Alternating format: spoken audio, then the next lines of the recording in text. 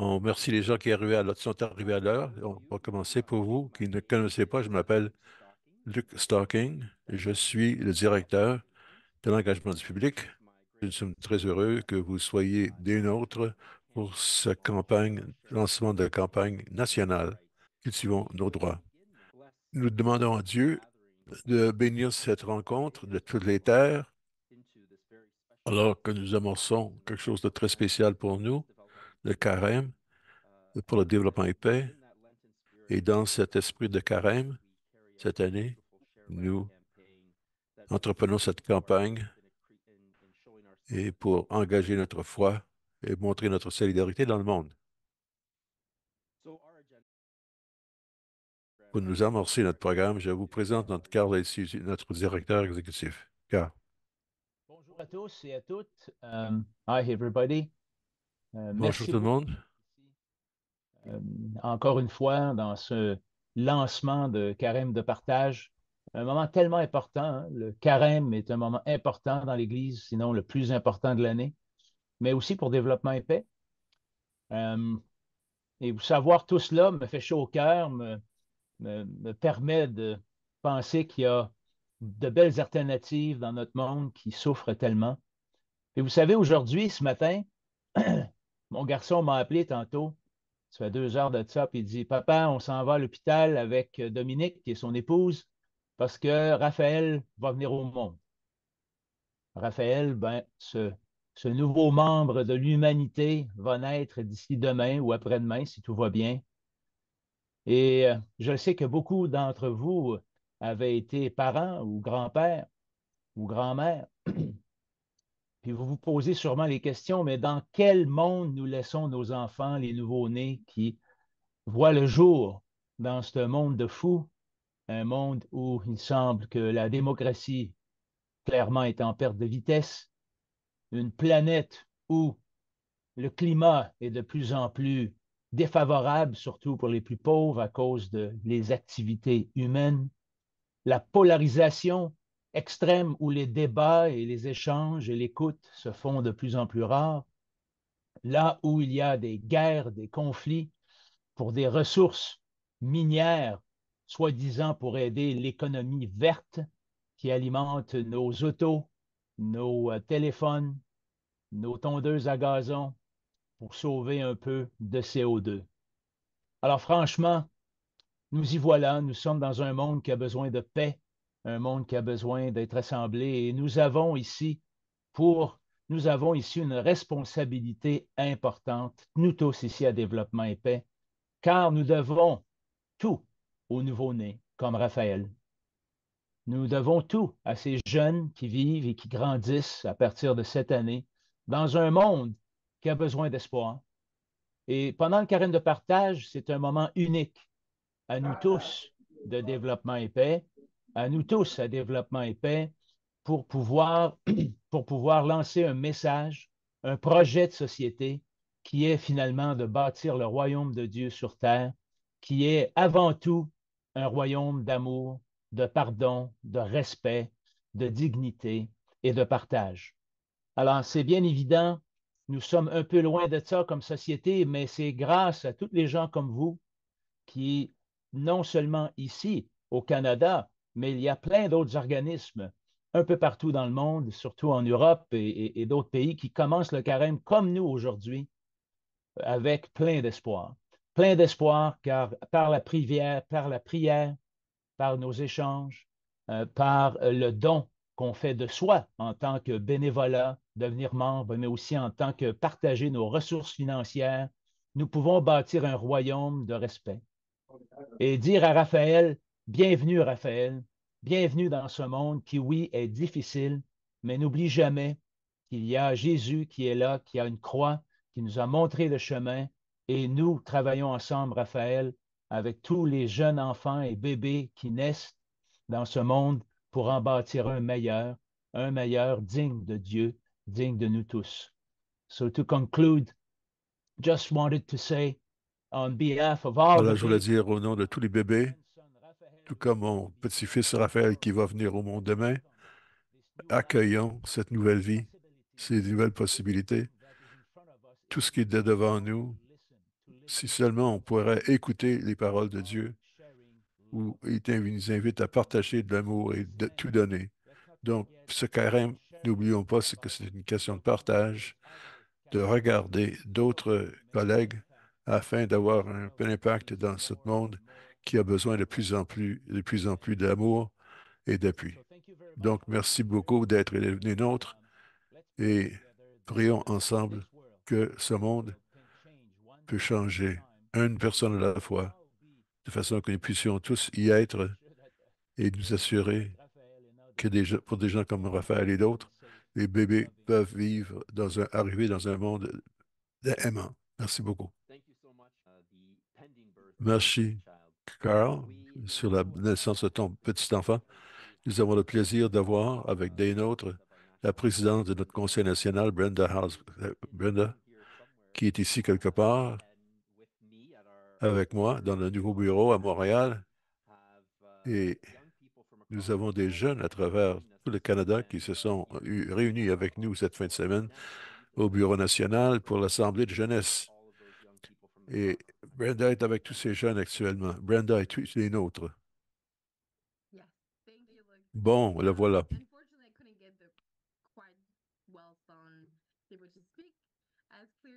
Alors, c'était difficile de, trouver euh, un, écran.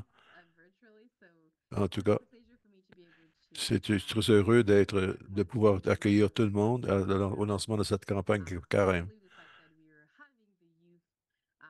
D'avoir les jeunes ici aujourd'hui et la connexion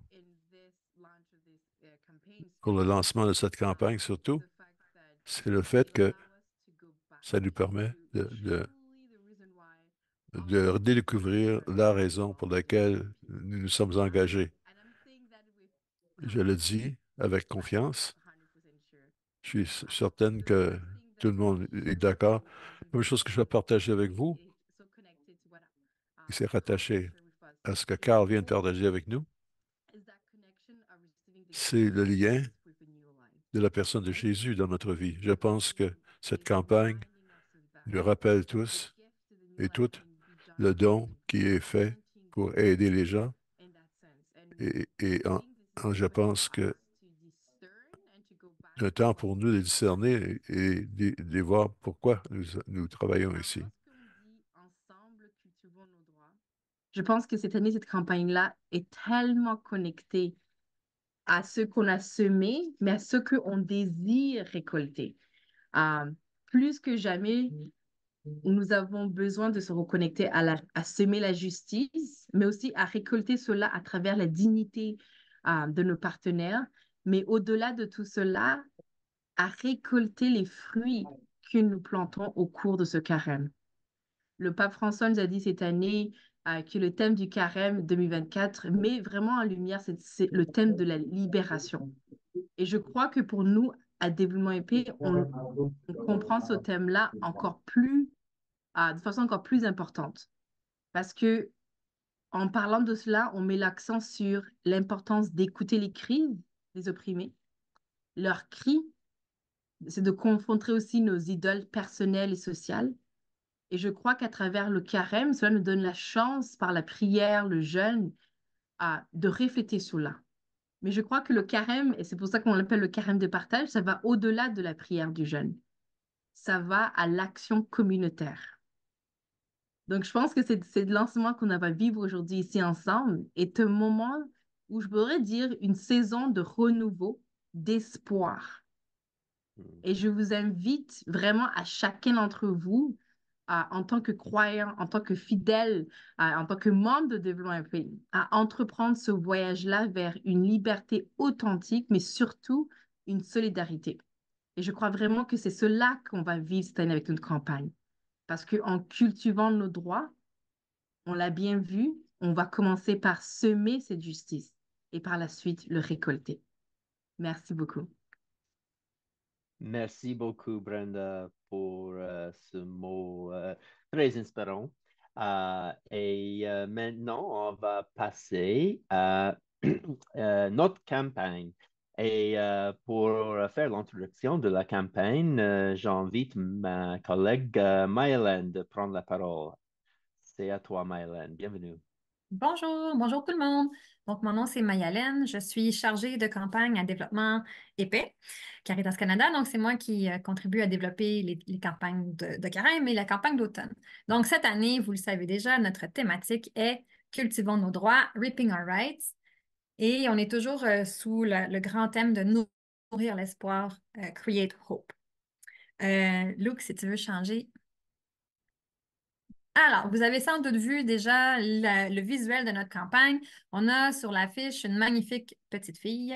Et euh, je me demandais si vous avez entendu l'histoire de qui est cette petite fille qui est la héroïne de notre visuel cette année.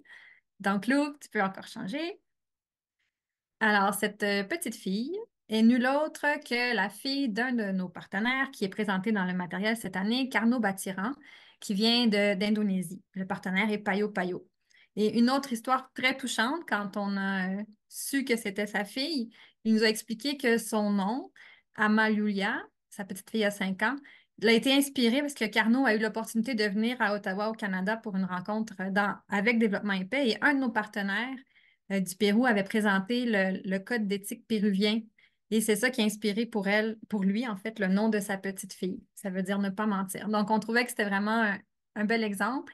Et on est très heureux que ce soit la belle petite fille de Carnot qui soit sur l'affiche. Donc, pour euh, juste vous mettre euh, l'eau à la bouche, je vais présenter rapidement, on va regarder le petit clip euh, du carême. Ça dure une minute. Donc, je recommande de l'écouter une fois dans chaque langue et après, on revient. Vous allez voir à travers, il y a des images de nos différents partenaires qui sont mis de l'avant cette année et vous allez pouvoir les reconnaître plus tard aujourd'hui quand on va parler de nos partenaires. Semer la justice, la voir prendre racine, récolter la paix et la dignité. C'est ce qui est au cœur de la mission de développement et paix Caritas Canada. Depuis 1967, nous appuyons des projets dans les pays du Sud qui s'attaquent aux causes profondes de la pauvreté, de l'oppression et des inégalités. Nous travaillons avec des partenaires locaux qui ont la confiance des communautés qu'ils desservent pour prendre en charge leur propre développement. Nous agissons en solidarité avec les populations les plus vulnérables afin qu'elles cultivent leurs droits humains, sociaux, économiques, écologiques et politiques. Notre travail transformateur est possible grâce à la générosité et l'appui de nos membres et de la population canadienne qui s'engagent à nos côtés. Ensemble, nourrissons l'espoir d'un monde meilleur. Ensemble, cultivons nos droits. Donnons généreusement. Alors, merci Luke. Donc, euh, voilà un court aperçu.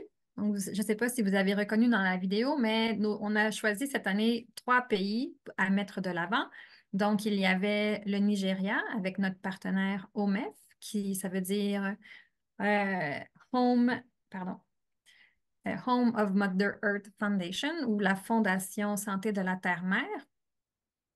Et euh, finalement, euh, il y a la Bolivie avec notre partenaire Fondation Nuna Bolivia et Payo Payo, Indonésie. Clique une autre fois. Oui, voilà. Donc, j'ai parsemé la vidéo de quelques-unes des photos qui nous ont été, que, que, ces partenaires nous ont fait parvenir.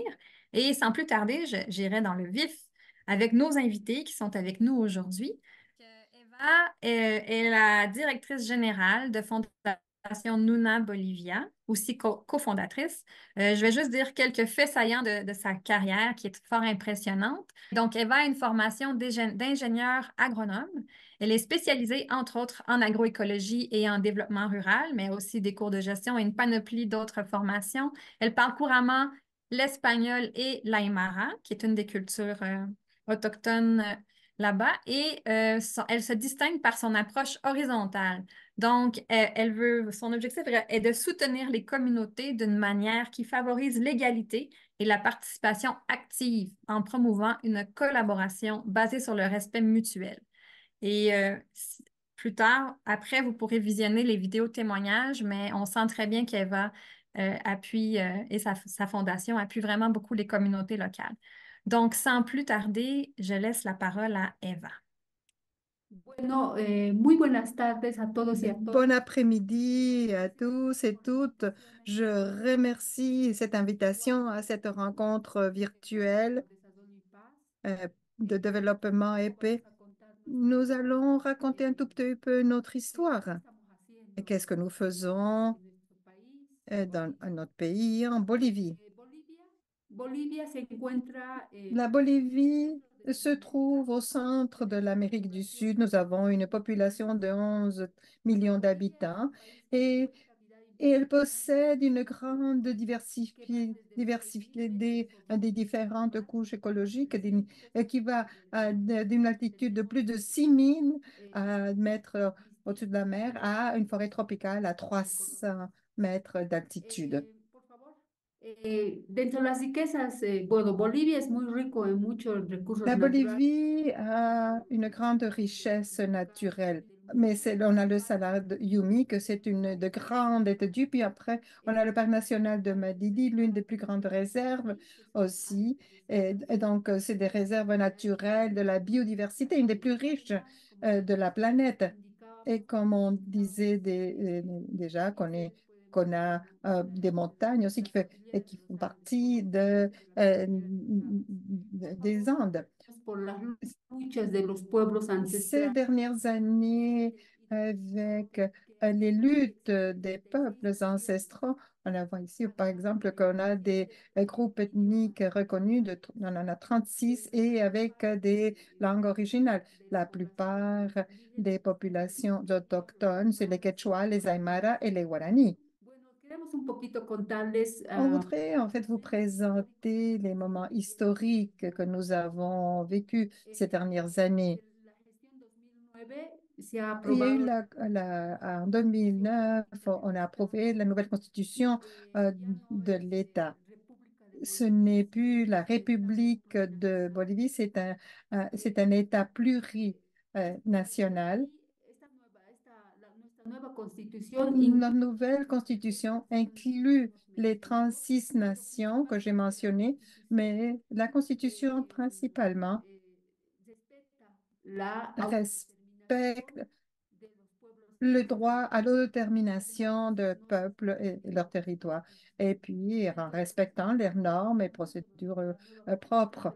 Mais c'est ce qui, beaucoup de choses ont changé dans la Constitution, mais, mais maintenant, dans cette-là, pour nous, c'est très important que les nations et les peuples autochtones soient. En, deux, en 2010, il y a eu une marche autochtone pour les Tipnis. Ça, c'est en fait les peuples ancestraux euh, des terres élevées, qu'on les appelle, qui marchent pour défendre leur, terri leur terre, euh, car ils étaient menacés par des projets. Et cette marche est une lutte, est un moment historique euh, des peuples ancestraux qui commencent vraiment à lutter pour leurs droits et pour leurs terres. Plus tard, il y a eu des élections, il y a la crise de 2019, après un gouvernement de 14 ans euh, qu'on appelait un gouvernement autochtone, représenté par Evo Morales. Il voulait s'élire de façon euh, infinie. Alors, euh, la population n'a pas voulu et il y a eu une grande confrontation. Et puis, c'est de là que découle la crise. Et nous avons beaucoup de défis aujourd'hui. Nous avions une, nous avions une richesse, une richesse impressionnante de gaz qui a donné beaucoup de revenus. Et puis, il y avait une redistribution vers les gouvernements locaux. Mais maintenant, il y a une crise, donc euh, on a de difficultés à ce sujet. En même temps, dans les dernières années, a été très euh, dur. Les catastrophes écologiques, il y en avait eu en avant, mais euh, il y en a beaucoup plus maintenant. Mais c'est sûr que c'est un problème mondial. Il y a des intérêts qui s'entrechoquent. Les euh, les intérêts des entreprises et des, des euh, intérêts des différentes cultures. Mais en fait, ces entreprises qui rentrent dans les territoires euh, des peuples ancestraux, alors, et selon la Constitution, il est interdit euh, de, de s'accaparer de ces territoires, mais ceci euh, n'est pas pris en compte. Et puis, il y a eu énormément aussi des incendies dévastateurs. L'autre chose, ce qu'il n'y a pas seulement l'exploitation minière, mais comment tout cela amène à une pollution de l'eau. De l'eau, la plupart des entreprises minières au Canada, sont, certaines sont légales, d'autres illégales, mais l'eau polluée, on la verse, ils la versent dans les rivières. Et puis, euh, ça, ça arrive dans les territoires des peuples ancestraux. Alors, il y a, cela cause énormément de difficultés et des problèmes de santé euh, pour la, euh, à cause de la pollution. Eh, y esto ha sido profundizado también et cela est devenu pire. C'est un problème déjà mondial, problème à cause de la COVID. On a vu qu'on n'a pas de conditions en ce qui concerne la santé, soit des infrastructures ou des professionnels comme des médecins, des infirmières. La plupart de la population utilise plutôt la médecine naturelle utilisent des, des, plantes naturelles parce que malheureusement, ils n'ont pas eu accès à un système de santé. Ce qu'on a décrit est plus ou moins un contexte national. Maintenant, j'aimerais qu'on regarde un petit peu plus le contexte local où nous, on mène à bien des actions. Ce qu'on a identifié dans les municipalités, les communautés à Ilus, là où on se trouve, c'est qu'on a une perte des ressources naturelles comme l'eau et en plus du manque d'opportunités, on voit une migration massive d'hommes, de jeunes hommes, des adultes également. Et ce qui reste euh, dans les communautés sont les femmes, les enfants et les personnes âgées. Donc, on a commencé euh, notre travail à Guarina. Donc, on est dans la municipalité d'Escoma, de Curva, de Ancuraraimes et Mocomoco. Essentiellement au, dans le département de La Paz. C'est là où on a notre domaine d'action. Alors, qu'est-ce que Nuna? Nuna est un mot en quechua qui veut dire conscience. Donc, notre mission est de construire des rapports justes, équitables et pluriels pour préserver la vie et la nature. Notre vision est de préserver la vie et la nature. Quelles sont les valeurs et les principes? Donc, c'est le respect de l'autodétermination des peuples et coordonner avec eux et mener à bien des actions. Un autre des principes, c'est que nous, on ne va pas nous imposer, on ne va pas s'imposer, mais on construit avec tous des propositions, des projets ou ce que les familles ou les communautés ou les AOYOS souhaitent. Mais tout cela sur la base de la confiance. Et comment avons-nous travaillé la confiance? Ben, En travaillant ensemble et en étant transparents également. Nous avons des domaines d'action nous, on dit qu'on a comme deux pieds le domaine politique social et le domaine politique productif. Et cela, donc, est complété par la recherche. Un des, des piliers sur lesquels on se base, c'est le domaine politique social, donc des hommes, des femmes, des communautés ou euh, IUS, d'organisations de base, vont renforcer leur pratique de participation, d'élection, de décision et tout cela dans quel but? Bon, avoir une incidence sur la gestion municipale, la vie organique de leur communauté, de leur audios et de leur propre vie. Donc, le domaine politique social, c'est l'aspect politique. Pour nous, qu'est-ce qu'est la politique? C'est de participer, d'élire et de décider. Et on dit que oui, les familles, hommes, femmes, enfants, jeunes, vieilles personnes, personnes âgées, toutes doivent renforcer cela. Et si cela se fait, on va pouvoir aller de l'avant. Alors, comment, comment disons, qu'est-ce qu'on fait pour que les gens participent et puissent élire Donc, hommes et femmes au sein des communautés sont là, mais on veut éveiller leur conscience, on veut les sensibiliser. Cette conscience de l'importance de participer, de lire. Et comment faire? Ben, on tient des rencontres, des conversations et on organise des ateliers, des, événements de réflexion, d'autocritique, de se connaître les uns les autres. Mais essentiellement, on est à l'intérieur des rapports quotidiens. Nous avons un contexte où on a un patriarcat et nous, on essaye d'avoir une incidence afin d'avoir un certain type de, rapport beaucoup plus dans l'égalité. C'est ce que nous cherchons. Et en tant que droit à l'information, on fait des rapports sur notre nouvelle constitution politique de l'État en soulignant les peuples autochtones, les lois des autonomies, la justice autochtone, la loi municipale, la loi des 48, qui est une loi pour réduire la violence vis-à-vis -vis des femmes. On a identifié au sein des communautés qu'il y a énormément de violence. Donc, on travaille là-dessus comme une mesure pour prévenir, donc de faire connaître les lois.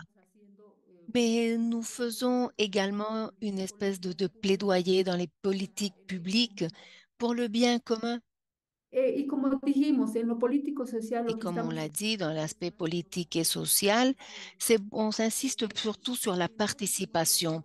Nous, on a atteint une population de euh, 4500 habitants, plus ou moins 4959 habitants, hommes, femmes, euh, jeunes, jeunes garçons, jeunes filles, jeunes adultes, euh, personnes âgées. Et pour nous, c'est très important le sujet euh, qui a trait au genre en ce qui concerne donc les élections et la prise de décision. Et on voit dans le domaine social, qui est beaucoup plus au sein de la communauté, nous voyons toujours un peu euh, plus de participation de la part des hommes, 62%, euh, si, euh, comparé à 38% euh, des femmes. Donc, on n'a pas réussi à avoir une, incidence là d'avoir soit égalitaire, plus égale. Donc, l'autre pilier qui, soutient la fondation, c'est le domaine économique productif. On travaille en faveur de la production agroécologique avec conscience, comme on dit toujours, par le biais de la mise en marche de des innovations technologiques agricoles et de transformation. Et comme je vous le disais, dans le domaine économique et productif, on soutient, on redonne de la valeur au sein des familles, le, la gestion et la conservation des sols, ce sont des pratiques ancestrales. Nos grands-parents, eux, suivaient ces pratiques, donc des noms autochtones pour les différentes techniques, les terrasses, les chemins. Ce sont des pratiques qui peuvent être faites avec euh, des matériaux locaux qui ne sont pas chers, qui ne coûtent rien et qui vont être pratiques et qui vont aider à conserver les sols.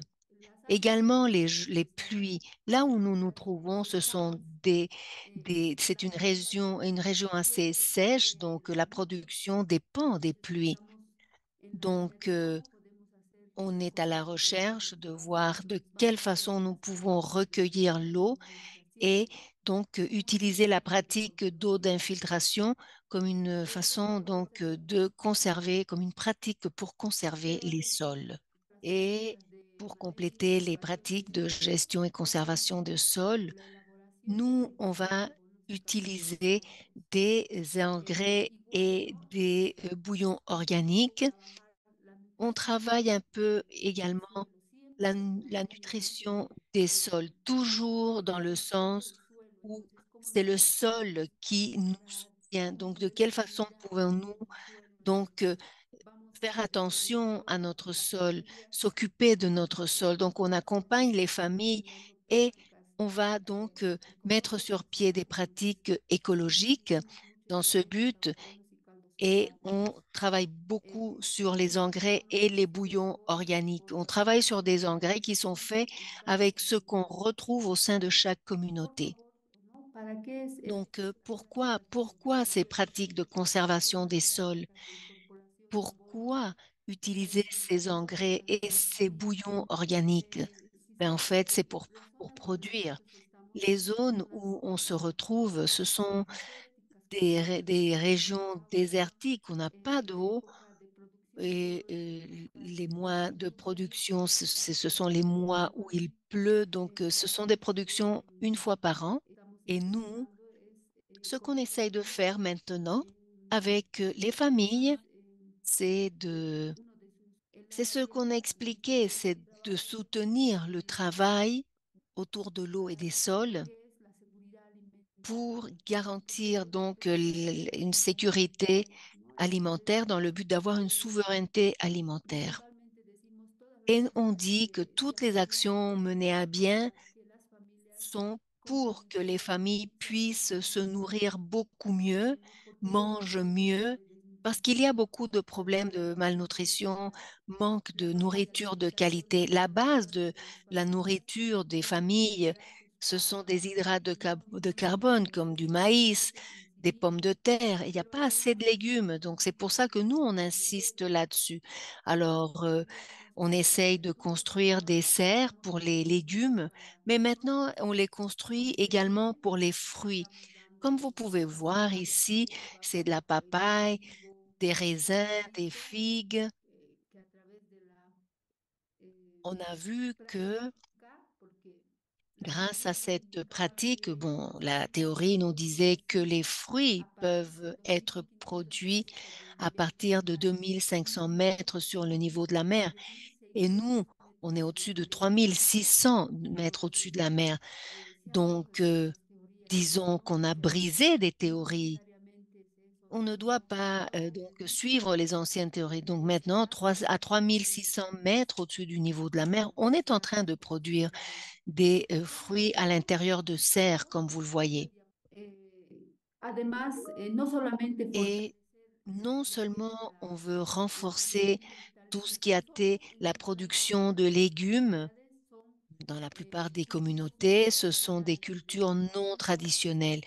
C'est-à-dire que nous, euh, eux, normalement, ne vont pas cultiver ce genre de choses. Eux, ils vont plutôt cultiver des pommes de terre et des oignons. Mais la plupart des familles, maintenant, ce qu'elles sont en train de dire, c'est que les sols sont fatigués.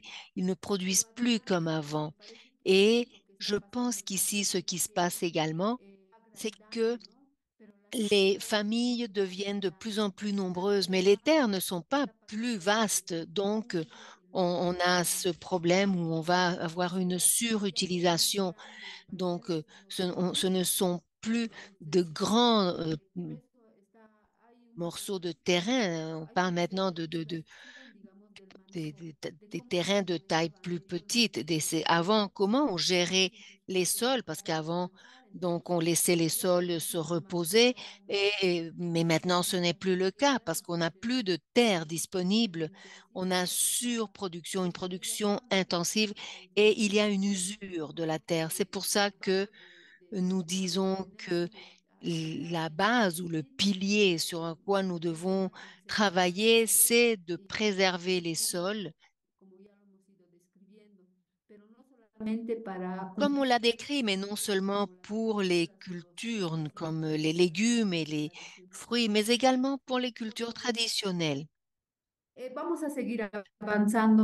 Avancer un petit peu plus rapidement à cause du temps, malheureusement.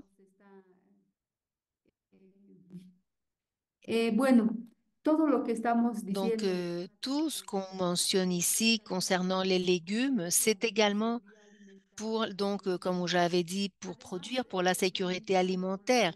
Et il faut compléter avec les légumes, donc soutient également les euh, technologies d'élevage. Comment? Avec la production de fourrage, la santé animale, en s'occupant des animaux.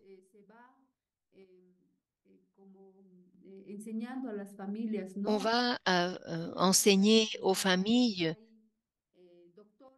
il y a des docteurs qui s'occupent des animaux, donc on essaye de, de, de, leur expliquer à la famille de quelle façon ils peuvent s'occuper et guérir leurs animaux malades et ne pas dépendre tout le temps de quelqu'un de l'extérieur pour pouvoir s'occuper de leurs animaux.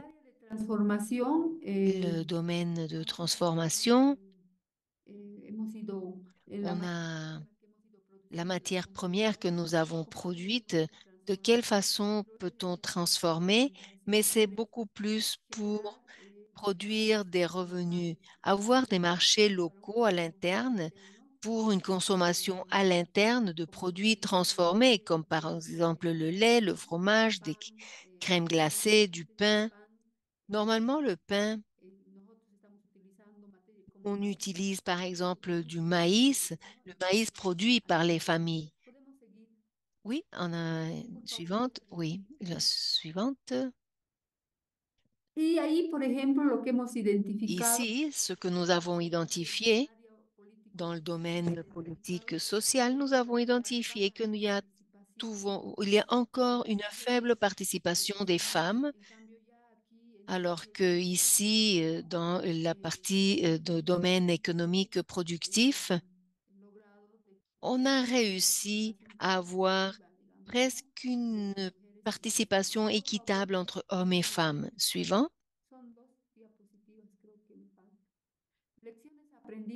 Il me reste deux diapas. Donc, quelles sont les leçons apprises? Ce qu'on voit comme les leçons apprises, on a vu que les communautés ont développé des expériences et ont vu ensemble, parce que nous, avant, on parlait, on parlait, mais par le biais de la pratique, ils ont identifié qu'ils peuvent améliorer par le biais de leur pratique, de leur vécu. Donc, il faut continuer. Donc, euh, l'impact ou l'incidence sur les communautés, euh, on avait dit que nous, on a eu un rapport permanent avec les communautés. On vit pratiquement avec ces communautés. Et on pense que cela a permis donc de, réussir les choses qu'on a réussi à faire. Donc, il faut continuer avec la force, cette force au sein des communautés de façon permanente. Donc, euh, ce n'est pas une visite d'un médecin une fois de temps en temps, mais c'est un accompagnement permanent. Quels sont les succès?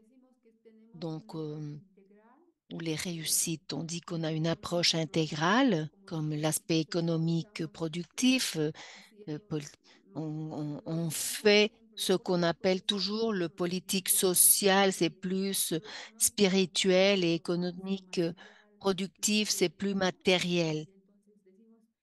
Donc, euh, on a une approche intégrale, participation de la communauté, on pense qu'on continue et qu'on doit continuer à, à, avec la participation, et parce que c'est à eux de décider, parce que ce sont eux qui vont finalement être à la tête du changement de leur vie, de leur communauté, de leur municipalité.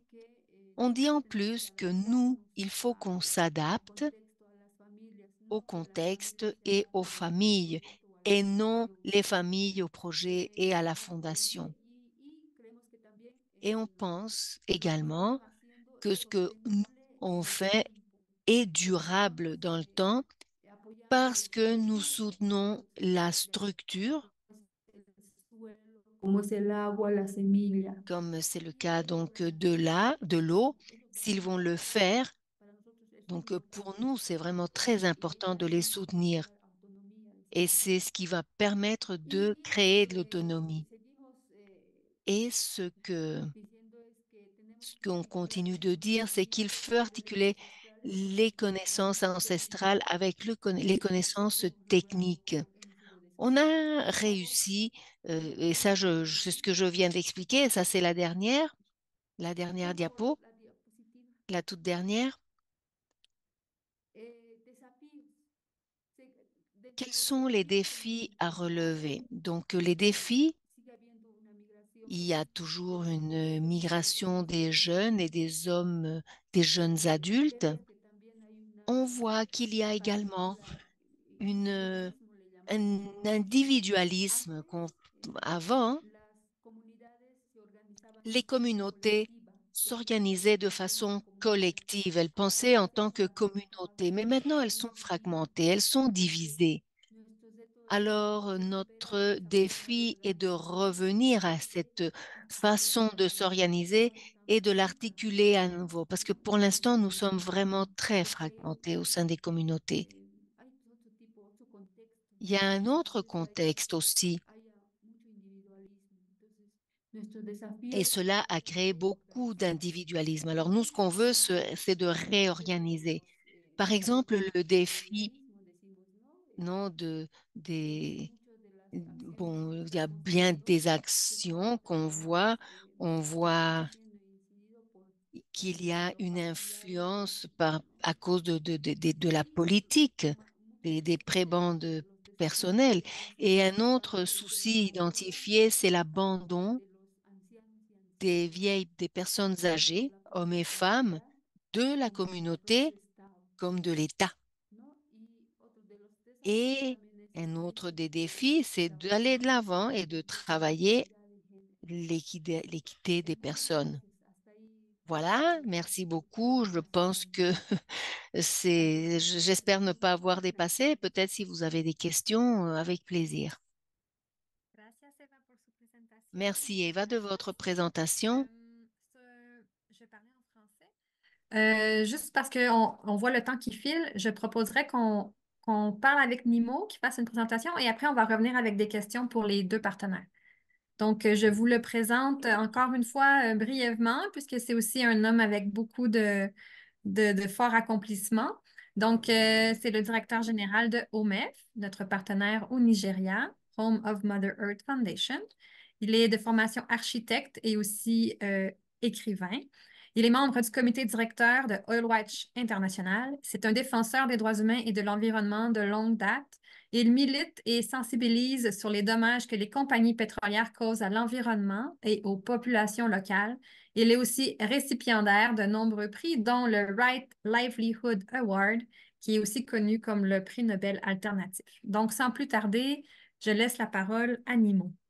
Thank you so very much and apologies for joining uh, at, at Merci beaucoup. Je m'excuse d'être en retard. My organization is Health of Mother Foundation and Alors, la Fondation de Terre-Mère nous avons des, des, défis comme tout le monde en a. On travaille surtout en Nigeria, dans l'Afrique. We needed to critically examine uh, what has been going wrong and Alors, il faut regarder critiquement ce qui, se passe et d'aborder ces problèmes. So, our, our project, Donc, like alors on va éteindre les vidéos. On aura plus de bandes à ce moment-là. De... Alors, si on éteint nos vidéos aussi, ça va aider la communication. Okay, so I'm back. Can you hear me now? Bon, est-ce que vous m'entendez maintenant? Dans l'organisation, travaillons surtout pour euh, découvrir les, les racines des problèmes sociologiques dans le monde. Mais la Nigérie, c'est ce que l'on vit. Alors, on travaille surtout en Nigeria, mais nous, sommes, nous faisons d'autres travail en panafricain. Alors, on était un mouvement pour de, de la nourriture et de justice sur le continent. Dans notre fondation, nous travaillons sur quatre plages. La question de, faim,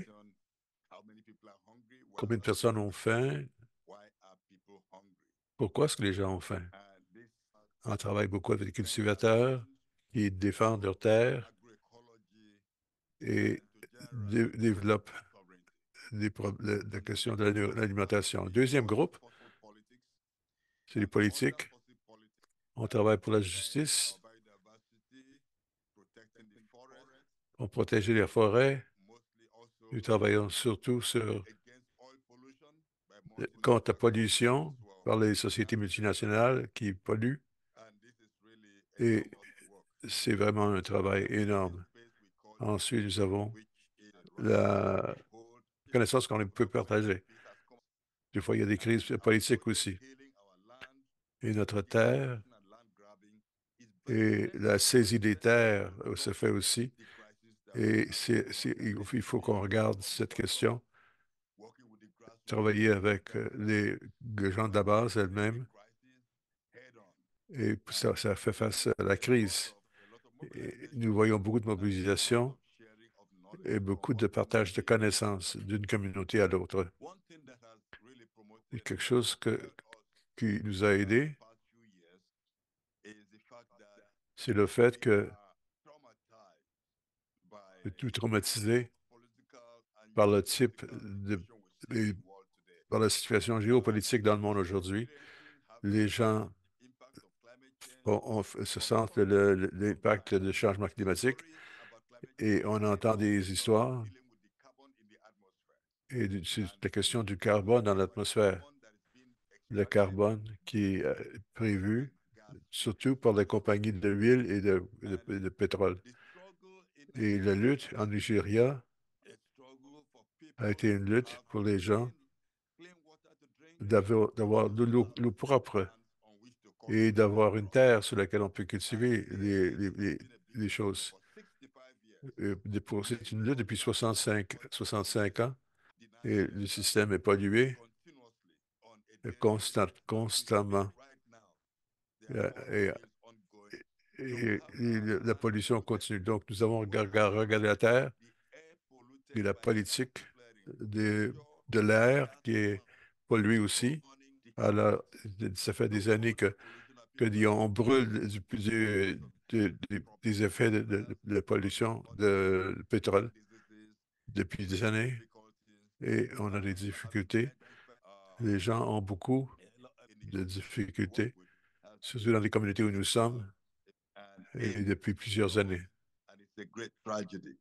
C'est une tragédie. Donc, euh, c'est dans cette situation, nous travaillons avec le peuple pour, défendre leurs droits et on n'a pas d'autre option. Par cause des jeunes, des enfants vivent dans un environnement négatif. Et notre environnement, c'est notre vie. Donc, des gens qui viennent, qui polluent notre environnement, euh, enlèvent notre vie à nous.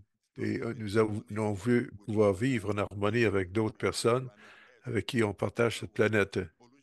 En d'autres mots, la pollution était, un, négatif et empêche de vivre. Donc, tout ce que nous faisons, c'est pour améliorer. Nos vies. Et c'est sur ce que nous nous, nous concentrons avec développement épais on travaille sur une culture de vie, pas une culture de mort qui est proposée par le capitalisme, où le profit prend le dessus, où on vise la, consommation. Nous, nous vivons dans un monde, une planète finie, limitée. Nous n'avons pas plusieurs planètes autour de nous. Nous avons une seule planète et lequel les, humains peuvent vivre. Et ça nous donne la possibilité de, vivre. Notre travail, c'est de regarder la colonialisation, le colonialisme et, et la façon, désagrégée qu'on propose au niveau écologique. À ce moment-ci, c'est là où nous faisons beaucoup de notre travail au niveau de l'écologie. Le niveau de pollution actuellement des euh, eaux dans certaines parties, c'est un million de fois la limite. Et dans certaines parties des États, la pollution est très élevée par capita. Et ça, c'est pour 5 millions de personnes. Le, pays a 40 millions et très souvent, c'est euh, pollué par les sociétés pétrolières. Nous nous concentrons sur un puits euh, de pétrole qui qui a explosé en 2020 c'est un puits qui est hors, qui est en limitrophe par rapport à, le, bord de l'eau et c'est une place qui pollue depuis quatre ans. On a produit des documentaires là-dessus. Nous avons eu des campagnes. On a fait des interventions, mais à ce moment-ci, les communautés veulent voir comment les gens peuvent écouter ce qui se passe. Des fois, les communautés ont été déplacées par les militaires ou par les, corporations. Donc, c'est un problème énorme. Les communautés comprennent qu'il faut, il faut, faut passer à, pour trouver des réponses, ça doit être le dialogue, mais les politiciens, euh, des fois, euh, regardent le conflit comme solution. De fait, les communautés ne peuvent pas faire face à ces conflits. Ils peuvent rester et travailler ensemble et dire non, on ne veut pas de conflit. Et dans l'environnement, il faut montrer là où il y a de la pollution et une crise et informer les médias sur ce qui se passe. et finalement, pour cacher même la pollution. C'est une des choses qu'on fait aujourd'hui, c'est d'inviter le fermier de présenter en rapport ce qui se passe dans leur environnement et pour comment le restaurer. Et ça se fait au niveau bien des nouveaux. Travailler avec les gouvernements, avec les structures communautaires, avec les agences qui sont prêtes, gouvernementales qui sont prêtes à travailler avec nous pour apprendre comment restaurer l'environnement de façon qu'on puisse vivre en relation avec la Terre et pas laisser un environnement toxique plus tard. Donc, je vais mentionner quelques autres exemples à ce niveau-là de pollution que, nous avons confrontés. Tout n'est pas perdu, bien sûr, parce que à ce moment-ci, on regarde ce que les polluants, les pollueurs, les gens qui polluent font, et on les amène en cours. Il n'y a pas moyen de cacher la pollution, ni les gens qui font la pollution. Et on cherche à, nettoyer, à donner aux, gens qui font la pollution, on leur demande de, nettoyer et d'être responsable pour l'assainissement de la terre.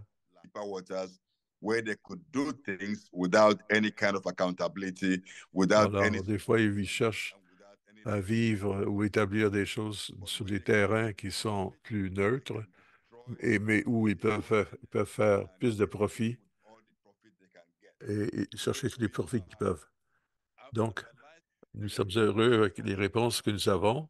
On établit des communautés, des réseaux de communautés. C'est une lutte pour la, pour la solidarité. ce qu'on cherche à faire, c'est voir c'est quoi le problème et les communautés voir quel est l'acte ou le geste qu'il faut poser. Alors, on voit, on regarde ce qui, tout ce qui peut détruire les sols. On propose des, des solutions vertes. et bien sûr, on évite les herbicides ou les pesticides qui établissent des sols toxiques et qui font plus de tort que de bien. On invite les communautés à bâtir leur résistance et d'assurer une certaine responsabilité. Et ça veut dire qu'il faut se battre pour leur dignité et se battre pour un niveau d'inclusion. C'est ce que nous faisons avec les communautés. Le projet travaille sur des questions de climat, des questions d'alimentation, avec la, connaissance de l'agricole et ouvrir les possibilités d'intervention par les communautés. Alors, je prendre des questions pour que je puisse, des questions et réponses, et de façon que nous puissions approfondir la situation en Algérie, en Afrique, où le climat euh, s'en va d'une façon fausse et mauvaise surtout pour les spéculateurs de carbone qui pensent qu'ils peuvent polluer des forêts et, en Nigeria et, que, euh, euh, qui, vont, qui vont absorber les, éléments toxiques qu'ils produisent. Merci de votre attention. Je serais très heureux de répondre aux questions si vous en avez. Je veux savoir, s'ils font la, la culture euh, par alternance suite à, toute la, la, la sensibilisation qu'ils ont faite euh, pour la culture des légumes et des fruits. se ha introducido verduras y frutas alternándolas Oui, on a introduit les fruits et les légumes en alternance avec le maïs et les pommes de terre pour diversifier, comme j'expliquais, euh, euh, euh, la base alimentaire de beaucoup, de la majorité des, peu- des peuples ancestraux que nous appuyons. Euh, C'est les carbohydrates, c'est les pommes de terre, euh, c'est le chuyo, euh, qui est en fait euh, la pomme de terre déshydratée, et le maïs, et très peu de légumes et de fruits. Et puis ça, c'est un des grands problèmes euh, qui existent euh, au niveau de l'alimentation. C'est pour ça qu'il y a de la malnutrition, parce qu'il n'y a pas de source de vitamines et de minéraux. Euh, c'est plutôt des carbohydrates. C'est pour ça qu'on essaie de complémenter de ce qu'avant ils produisaient en diversifiant les- et en introduisant des euh, fruits et des légumes. Alors, nous avons une question pour Nimo de Sœur Patricia. Quelles sont les compagnies canadiennes qui sont impliquées là-bas au Nigeria? Pour la plupart des corporations qui travaillent au Nigeria proviennent des États-Unis. Euh, je ne sais pas s'il y a des, des- des investissements euh, vraiment majeurs de la part du Canada. C'est plutôt des États-Unis, de l'Europe euh, et de l'Asie, ainsi que au Mo- Moyen-Orient. Merci, Nimo. Une autre question de Bill Mackesy. Euh, je pense que c'est une question pour Nimo. Avons- Avons-nous des changements proposés à la loi pour parler de l'extraction des minéraux et aussi de le pétrole? Et ce serait peut-être une question que nous pourrions adresser à Eva. Oui, nous avons créé beaucoup de lois, mais des fois, ça ne vaut pas le papier sur lequel ils sont écrits.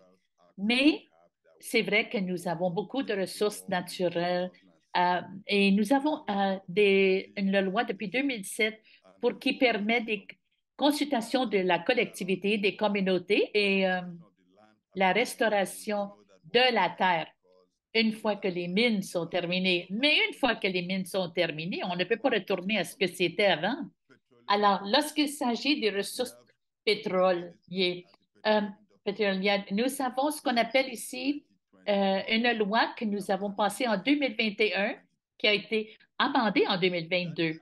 Bon, l'acte, la loi, là, est contre le peuple, anti-peuple et anti-environnement, parce que c'est en faveur de l'extraction du pétrole, gaz, et c'est parce que c'est c'est comme c'était écrit par les corporations pétrolières.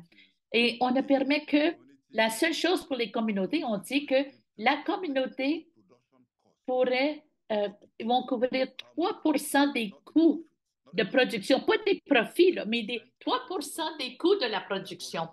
Alors, c'est pourquoi euh, ensuite, il y a une clause qui a été ajoutée à la loi et on dit que s'il y avait euh, euh, il y avait des, des bris quelconques qui se réalisent, ces pipelines.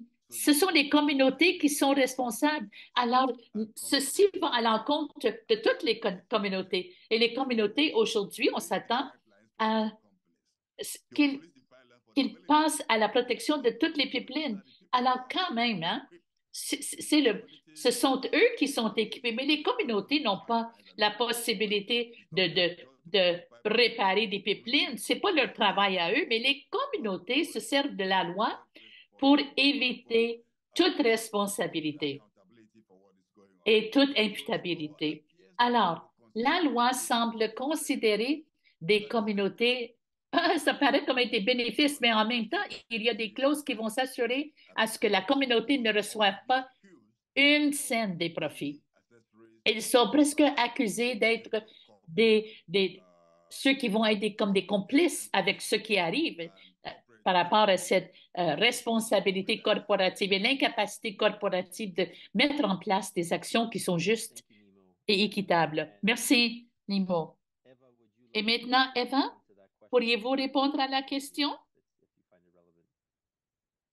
Sí, con relación a eso, nosotros hemos Oui, nous avons dit que les mines affectent énormément. Certes, il y a des lois, il y a des normes, mais aujourd'hui, on est en train euh, de violer beaucoup des droits, même si on a une législation qui protège les peuples ancestraux, malgré euh, ces lois euh, que, qu'elles ne peuvent pas rentrer dans les zones protégées qui sont des territoires des peuples ancestraux.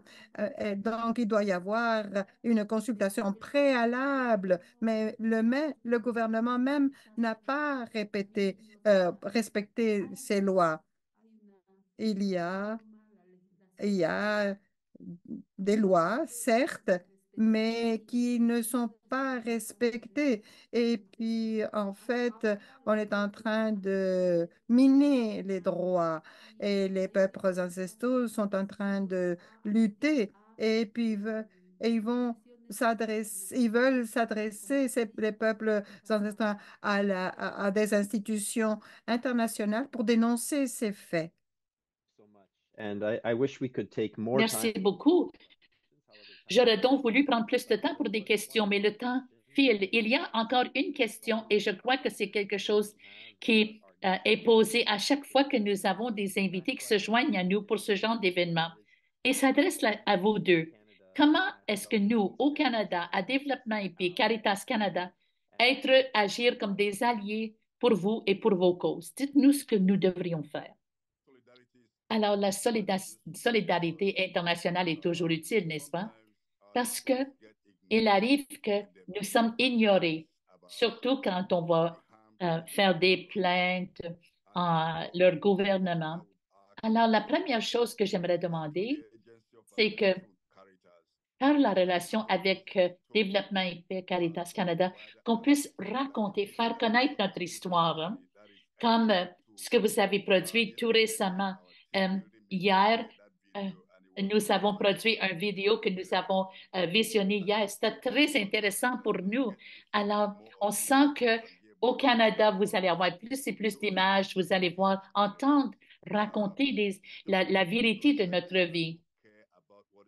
Alors, savoir ce qui se passe chez nous nous aide beaucoup. Ça nous habilite et ça nous dynamise parce que nous avons besoin de dire on n'est pas seul, on est capable de se tenir ensemble. Alors, faire attention à ce qui se passe chez nous est très important. C'est ce que je répète à maintes reprises euh, à tout le monde là-bas. Maintenant, la situation des mines est vraiment traumatique. Alors, toutes sortes de possibilités, peu importe ce que vous allez nous aider à, avoir plus soin du peuple, va être apprécié. Merci.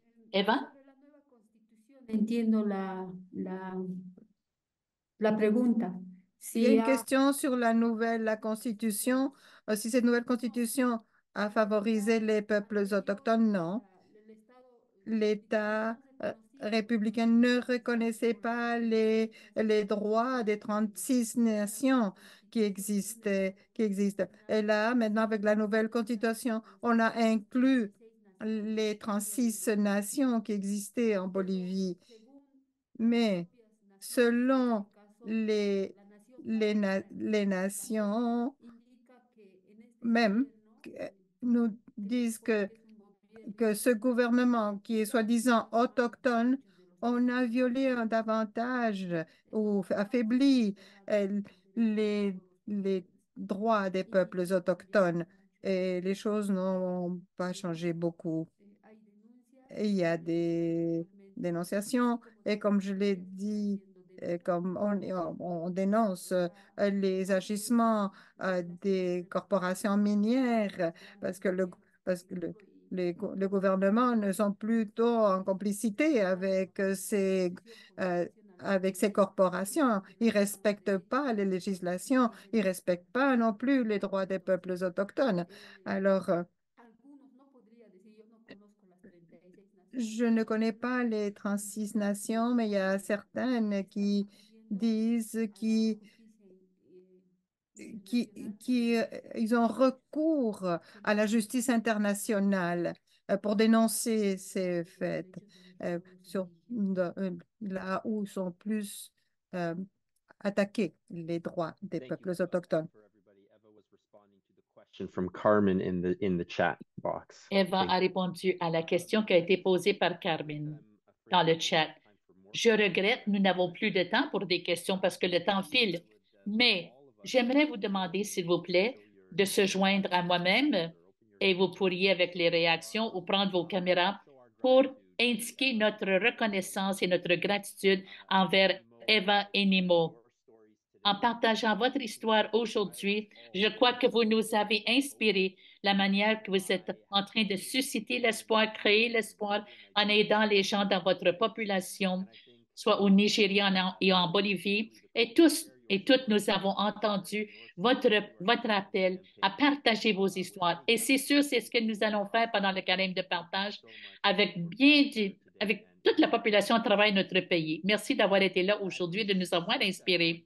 Rendu là où nous en sommes, je remets le micro à Mayelen qui va nous parler des ressources disponibles pour vous aider avec euh, euh, ce qui va se passer. Rapidement, je ne sais pas, ben, vous avez vu un peu notre site web. Je vous invite à aller le visiter.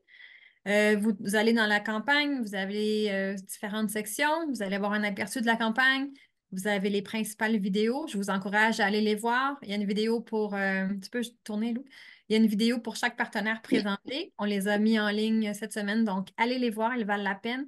Notre mini-mag, si vous ne l'avez pas déjà lu, sur la couverture Carnot, Carnot va venir nous visiter, tu peux changer, sera notre visiteur de solidarité. Il va être de passage en Colombie-Britannique. Il arrive, euh, il prend l'avion le 23 février. Donc, euh, dans une semaine, il sera euh, dans l'ouest du pays. Joignez-vous à nous le 29 février pour un webinaire avec Carnot lors de sa tournée au Canada. on a aussi des nouveaux outils en Oh. ligne. Si euh, vous ne les avez pas encore vus, la carte de prière, les intentions de prière, le chemin de croix, le calendrier de solidarité, hein, j'espère que tout le monde le suit. À chaque jour, les symboles de solidarité, l'allocution, des réflexions hebdomadaires qu'on va publier à chaque semaine sur notre site Internet et qui vont se retrouver regroupées dans notre section ressources. Euh, voilà les vidéos, j'en ai parlé, allez les voir, c'est vraiment, ça vaut le coup. On voit bien le travail des partenaires. Et on a des nouveaux outils. Alors, euh, si vous avez des jeunes euh, qui cherchent à jouer, euh, on a un beau jeu de serpent et, échelle dans lequel on a aussi intégré un peu les concepts de l'enseignement social de l'Église et de notre travail de solidarité au nord comme au sud. Euh, on a aussi une nouvelle brochure partageant, donc c'est le moment d'en faire circuler euh, dans vos réseaux, essayer de recruter. On a encore le, le matching fund, donc le fonds de contrepartie. Donc, euh, ce carême, durant toute la période du carême, si quelqu'un augmente son don ou devient partageant, le, don cumulatif pour l'année va être ben, augmenté, doublé. Donc, euh, c'est le temps de devenir partageant. Et euh, ne manquez pas, si vous voulez en savoir plus sur la campagne, il reste encore différentes formations. Allez dans notre, la section événements sur notre site Internet. Vous allez voir les différentes formations dans chaque région qu'il reste encore à suivre. Et je pense que, voilà, je tout pour moi. Thank you so much, Myelen. That uh, I know it's a very uh, fast overview for everybody, but of Merci, course, c'est un survol très rapide. Ça nous fait faire, terminer avec une prière de clôture. Donc, c'est la carte de prière que Mylène a mentionnée. Hélène Gobeil, est-ce que tu pourrais lire le français, s'il te plaît? Alors, plaçons-nous devant Dieu alors que nous lançons cette campagne. Au nom du Père, du Fils et de l'Esprit. loving God, we believe that we are one great human family. You call us to walk together and to recognize the dignity of every person. Nous croyons que nous partageons une maison commune. Tu nous appelles à prendre soin de toute la création. We believe in the sanctity of life. You call us to treat all people with kindness and compassion in the way of Christ. Nous croyons en ton règne de justice, de paix et d'amour. Tu nous appelles à mettre ta parole en pratique afin de construire un monde plus juste, plus humain et plus fraternel.